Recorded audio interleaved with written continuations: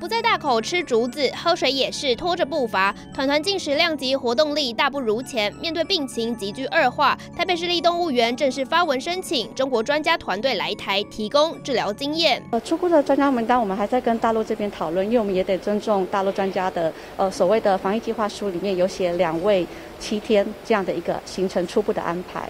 动物园方两度为团团进行检查，确认团团罹患恶性脑瘤可能性大，目前主要以舒缓照护为主。而中国四川的猫熊专家十月初就主动两度提出来台探视，园方认为基于人道关怀立场，中国专家如果能来台探视也是好事。北市府因此向主管机关农委会发文申请，希望以专案许可让中国专家来台。基于这种人道的理理由了哈，好像来看他们送出去的猫熊，我说那那就随便吧。申请还有送去陆委会了，但是送出单位会觉得说，哦，他好像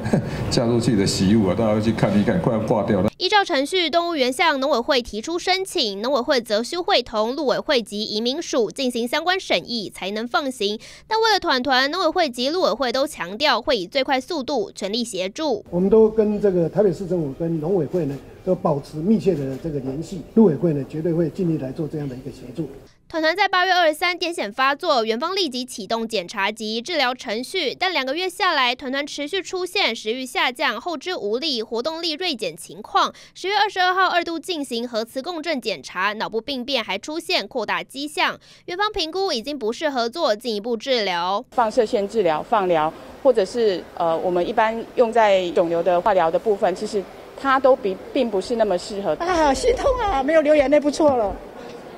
当粉丝面不能流眼泪。团团生病了，两岸专家有望进行探视会诊，粉丝也赶来送上祝福，希望团团能够再度恢复健康。记新闻刘佩婷、翁启斌采访报道。